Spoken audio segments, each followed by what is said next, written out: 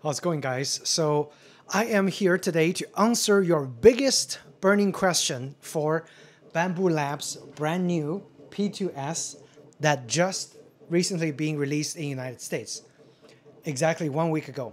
Okay, uh, that is, can you use the AMS2 Pro to dry your filaments with the drying function turned on while printing? And I'm here to tell you no. And uh, that is after testing it with a external power supply. Okay, so I have external power supply connected. I have my P2S printing a PETG, some uh, desiccant package right now. And I go into my screen, see, unable to dry, AMS connected with external power. And I'm going to unplug the power. You'll see another message.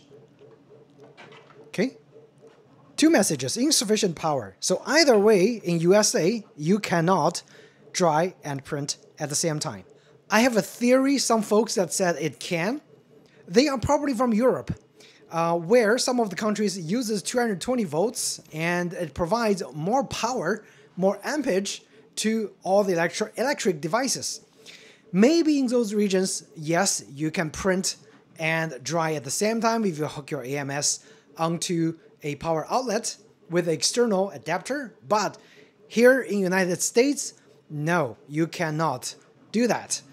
I hope that answers your burning question. And unfortunately, if you are in United States like me, you just have to live with the fact that Bambu AMS2 Pro is unable to properly dry filaments during printing. And that's the purpose of this video, okay? You guys like my little seagull?